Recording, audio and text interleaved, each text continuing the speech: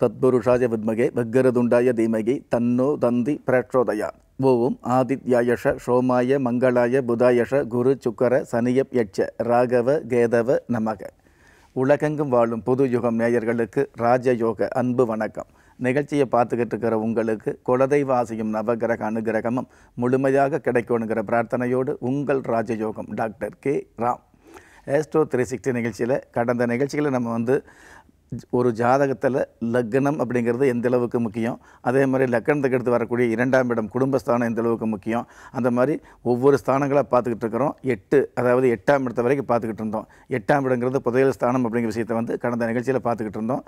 பொதுவாக ஒரு ஜாதகத்தில் இருக்கிற பன்னிரெண்டு ஸ்தானங்களுக்கும் பல்வேறு விதமான பலாபலன்கள் இருந்துகிட்டு இருக்குது பல்வேறு விதமான அதிர்ஷ்டங்கள் இருந்துகிட்டு இருக்குது பல்வேறு விதமான உறுதியான நற்பலன்கள் இருந்துகிட்டு இருக்குது பல்வேறு விதமான யோகங்கள் இருந்துகிட்டு இருக்குது பல்வேறு விதமான யோக பங்கங்கள் இருந்துகிட்டு இருக்குது அப்படிங்கிறது கடந்த நிகழ்ச்சியில் பார்க்கும்போது உங்களுக்கே ஓரளவு தெரிஞ்சிருக்கும். இருந்தாலும் இன்றைக்கி நம்ம பார்க்க போகிறது ஒருவருடைய ஜாதகத்தில் ஒன்பதாம் இடம். அதாவது பாக்கியஸ்தானம் என்று சொல்லக்கூடிய பிதாஸ்தானம் என்று சொல்லக்கூடிய ஒன்பதாம் இடத்தை வச்சு எந்தெந்த மாதிரியான பலாபலன்களை தெரிஞ்சுக்கலாம் அப்படிங்கிறத இந்த நிகழ்ச்சியில் நம்ம தெரிஞ்சுக்கிறோம் அந்த வகையில் ஒருவருடைய ஜாதகத்தில் லக்னத்திலிருந்து எண்ணி வரும் பொழுது ஒன்பதாம் இடம் என்று சொல்லக்கூடிய பாக்கியஸ்தானத்தில் எந்த மாதிரியான கிரகங்கள்? அதாவது சுப கிரகங்கள் இருந்தது அப்படின்னா பிதாவுடைய சொத்துக்கள். அதாவது பூர்வீக சொத்துன்னு சொல்லுவோம் இல்லையா? அந்த பூர்வீக சொத்து பிதா சம்பாதிச்சு அதாவது அப்பா சம்பாதிச்சிருக்கலாம் அப்பாவுடைய அப்பா தாத்தா சம்பாதிச்சிருக்கலாம் அல்ல தாத்தாவுடைய அப்பா கொள்ளு தாத்தா சம்பாதிச்சிருக்கலாம். இந்த மாதிரி பூர்வீகமாகவோ அல்லது பரம்பரையாகவோ நமக்கு சொத்து இருந்தது அப்படின்னா அந்த சொத்துக்கள் உங்களுக்கு கிடைக்குமாங்கிற விஷயத்தை உறுதியாக தெரிஞ்சு கொள்ளக்கூடிய பாக்கியம் இந்த ஒன்பதாம் இடத்தை வச்சு நம்ம தெரிஞ்சுக்க முடியும். அதுதான் பாக்கியஸ்தானம். ஒருவருக்கு வந்து பிறக்கும் பொழுதே பூமி இருக்குது. ஒருவர் வந்து பிறக்கும் பொழுதே சொந்த வீட்டில் வந்து பிறக்கிறார் அப்படின்னா அதற்கு ஒரு யோகம் வேணும் அதற்கு ஒரு பாக்கியம் வேணும். அந்த பாக்கியத்தை பற்றி தெரிஞ்சுக்கிறதுக்கு சொந்த வீடு நீங்கள் நீங்கள் வந்து ஜனனமாகும் போதே உங்களுக்கு சொந்த வீடு இருந்துகிட்டு இருக்குதா அல்லது ஜனனமானதுக்கப்புறம் உங்களுடைய முயற்சியில் வந்து அந்த மாதிரியான சொந்த வீடு வாங்கக்கூடிய பாக்கியம் வந்துட்டு இருக்குதா அந்த மாதிரி சொந்த வீடு வாங்கினாலும் அதை வந்து சந்தோஷமாக அனுபவிக்கக்கூடிய பாக்கியங்கள் இருந்துட்டு இருக்குதா வண்டி வாகன சேர்க்கைகள் இருந்துகிட்டு இருக்குதா இந்த சமுதாயத்தில் வந்து கௌரவமான வாழ்க்கை வாழக்கூடிய அமைப்பு இருந்துகிட்டு இருக்குதா இந்த மாதிரியான அமைப்புகளையும் சிறப்பு பொறுப்புகளையும் பொறுப்புகளையும் சீராக தெரிஞ்சுக்கணும் அப்படின்னா ஒருவருடைய ஜாதகத்தில் ஒன்பதாம் இடம் என்று சொல்லக்கூடிய பாக்கியஸ்தானத்தை வச்சு தெரிஞ்சுக்க முடியும். பாக்கியஸ்தானத்தில் சுப கிரகம் இருந்தது அப்படின்னா உங்களுக்கு சேரக்கூடிய சொத்துக்கள் ஒருவருடைய ஜாதகத்தில் பாக்கியஸ்தானத்தில் சுப கிரகங்கள் இருந்தது அப்படின்னா சேரக்கூடிய சொத்துக்கள் வந்து நேர்மையான வகையில் சேரக்கூடிய பாக்கியங்கள் நிச்சயமாக இருந்துகிட்ருக்கும் அதுவே சேரக்கூடிய சொத்துக்கள் அதாவது உங்களுடைய ஜாதகத்தில் ஒன்பதாம் இடத்துல வந்து பாப கிரகங்கள் இருந்தது அப்படின்னா சொத்து சேர்க்கைகள் சேரக்கூடிய சொத்து சேரக்கூடிய செல்வம் சேரக்கூடிய புகழ் கிடைக்கக்கூடிய அதிகாரம் இதுவெல்லாம் வந்து பார்த்திங்கன்னா உங்களுக்கு அதிகாரமான வகையில் அதாவது எதிர்மறையான வகையில் பாவ செயல்களை செய்யக்கூடிய வகையில் கிடைக்கக்கூடிய பாக்கியம் இருந்துகிட்டு இருக்கும். எது எப்படி இருந்தாலும் பாக்கியம்னு இருந்து கிடைக்குது அப்படிங்கிறது வந்து ஒரு உண்மையாக இருந்தால் கூட அது நேர்மையான வகையில் கிடைக்குதா? அல்லது வந்து பாவகரமான வழியில் கிடைக்குதா அப்படிங்கிற விஷயத்தை தெரிஞ்சுக்க முடியும். ஒருவருடைய ஜாதகத்தில் ஒன்பதாம் இடத்தை பார்க்கும் பொழுதே உங்களுக்கு இருக்கக்கூடிய பூர்வீக சொத்துக்கள் நேர்மையான வகையில் வந்ததா? அல்லது நேர்மை தவறிய பாவமான வழியில் வந்ததா அப்படிங்கிற விஷயத்தையும் நாம் தெரிஞ்சுக்க முடியும். அந்த வகையில் ஒன்பதாம் இடம் அப்படிங்கிறது மிக மிக முக்கியமாக இருந்துகிட்டு இருக்குது இதில் வந்து பிதாவுடைய ஆயுள் சம்மந்தப்பட்ட விஷயங்களை கூட இந்த ஒன்பதாம் இடத்தை வச்சு தெரிஞ்சுக்க முடியும். உங்களுடைய ஆயுள் உங்களுடைய வாழ்க்கை அப்படிங்கிறத விட உங்களுடைய அப்பாவுக்கு பிதாவுக்கு எவ்வளவு ஆயுள் அதாவது தீர்க்கமான ஆயுள் இருந்துட்டு இருக்குதா அல்லது ஆயுள் கண்டம் வந்துட்டு இருக்குதா பிதா வந்து யோகமானவரா? பிதா மூலமாக சேரக்கூடிய சொத்துக்கள் வந்து சேர்க்கை. அந்த சொத்துக்கள் வந்து நியாயமான வகையில் சேரக்கூடிய பாக்கியங்கள் இருந்துட்டு இருக்குதா அல்லது பிதாவுக்கும் உங்களுக்கு உறவுகள் எந்த மாதிரி இருந்துகிட்டு இருக்கும் பிதாவுடைய ஆயுள் சம்மந்தப்பட்ட விஷயங்களுக்கு மட்டும் அல்லாது உங்களுடைய உறவு சம்மந்தப்பட்ட விஷயங்களில் பிதாவும் நீங்களும் இணைந்து தொழில் செய்யக்கூடிய பாக்கியம் இருந்துட்டு இருக்குதா இந்த மாதிரியான பல்வேறு விஷயங்களை வந்து பாதகம் இல்லாமல் தெரிஞ்சுக்கக்கூடிய பாக்கிய ஸ்தானம் தான் ஒருவருடைய ஜாதகத்தில் ஒன்பதாம் இடம் என்று சொல்லக்கூடிய இந்த பாக்கியஸ்தானம். ஒருவருக்கு எவ்வளவு தான் அமைப்பு இருந்தாலும் எவ்வளவு செல்வம் இருந்தாலும் அதையெல்லாம் முழுமையாக சந்தோஷமாக அனுபவிக்கக்கூடிய பாக்கியம் வேணும் இல்லையா? அந்த பாக்கியம் இருக்கணும். இப்போ நிறைய ஜாதத்தில் பார்க்குறோம் இல்லைங்களா? பார்க்குற ஜாதகத்தில் நிறைய ஜாதகத்துக்கு வந்து யோகம் இருந்துகிட்டு இருக்கும் ஆனால் அந்த யோக திசை வராமலே போகக்கூடிய சூழலும் இருந்துகிட்டு இருக்கும் இப்போ ஒருவருக்கு வந்து சந்திர தசை யோகம் கொடுக்குதுன்னு வைங்களே அவருடைய வாழ்நாளில் சந்திர தசையே வாராமல் இருக்கக்கூடிய சூழல் இருந்துகிட்டு இருக்கும் யோகம் இருந்தும் அந்த யோகம் அந்த ஜாதகருக்கு கிடைக்காம இருக்குது இல்லையா? அந்த மாதிரியான விஷயங்கள் அந்த யோக பங்கம் அப்படிங்கிற விஷயத்தையும் இந்த பாக்கியஸ்தானத்தில் தெரிஞ்சுக்கலாம். ஒருவருடைய ஜாதகத்தில் ஒன்றுக்கும் மேற்பட்ட யோகங்கள் இருக்கும் பொழுது அந்த யோகத்தை அவருடைய வாழ் ஆயுள் காலங்களிலேயே அனுபவிக்க முடியுமா அப்படிங்கிற விஷயத்தை அந்த பாக்கியஸ்தானத்தை வச்சு தெரிஞ்சுக்க முடியும்.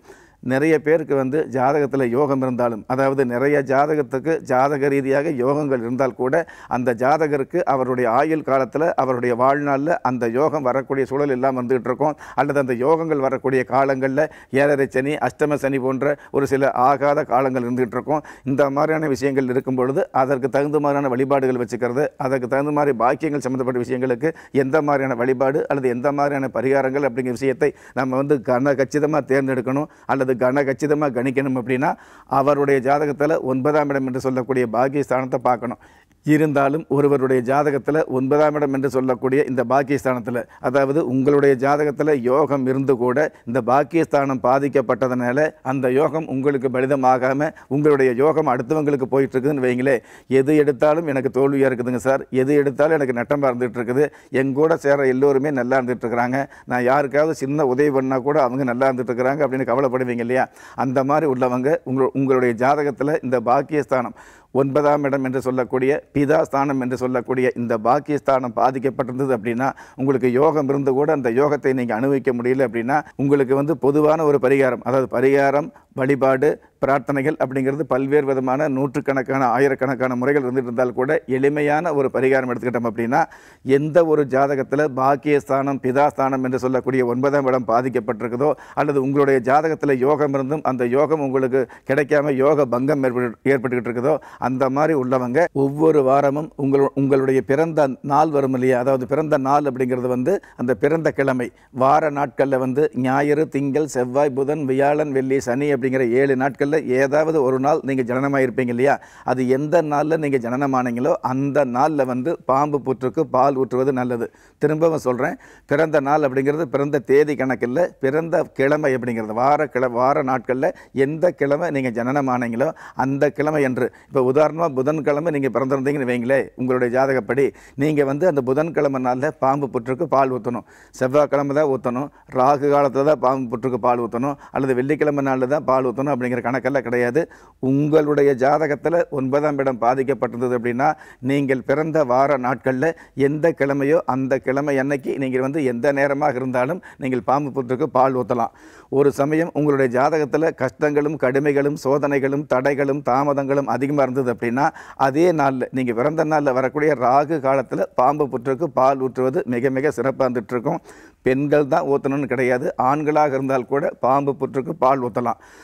பாம்புக்கு பால் ஊற்றுவதால் எந்த மாதிரியான நன்மை அப்படின்னு எடுத்துக்கிட்டோம் அப்படின்னா பொதுவாகவே மிக மிக கொடிய நச்சுள்ள பாம்பு தான் அந்த நாகபாம்பு அந்த நாகபாம்புக்கு கொடிய விஷம் இருந்தால் கூட மிகப்பெரிய நச்சு இருந்தால் கூட அந்த பாம்புக்கு நல்ல பாம்பு அப்படிங்கிற பெயரை வந்து சாஸ்திர ரீதியாக கொடுக்கப்பட்டிருக்குது.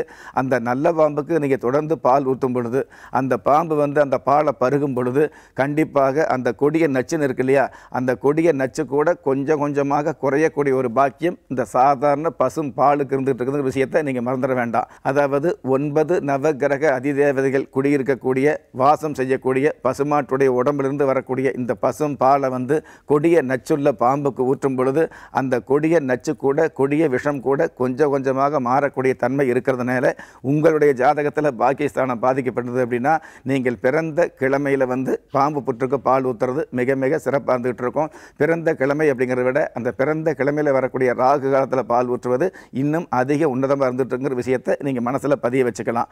எது எப்படி இருந்தாலும் பொதுவாகவே இந்த உலகத்தில் பணக்காரனாக வாழ்கிறோம் அப்படிங்கிறத விட பாக்கியவானாக வாழணுங்கிற விஷயத்தை இந்த நேரத்தில் உங்களுக்கு நினைவுபடுத்தி ஒரு மனுஷால யாரு கைவிட்டாலும் ஆன்மீகம் கைவிடாதுங்கிற என்னுடைய ஆழமான ஆன்மீகத்தையும் பதிவு செய்து அகில உலகத்தில் உள்ள அத்துணை தெய்வங்களின் அனுகிரகமும் ஈரேல் உலகத்தில் உள்ள எல்லா சக்திகளின் ஒட்டுமொத்த ஆசீர்வாதங்களும் உலக மக்கள் அனைவருக்குமே கிடைக்க வேண்டிய பிரார்த்தனையோடும் வாழ்த்துக்களோடும். உங்கள் ராஜ யோகம் டாக்டர் கே ராம்.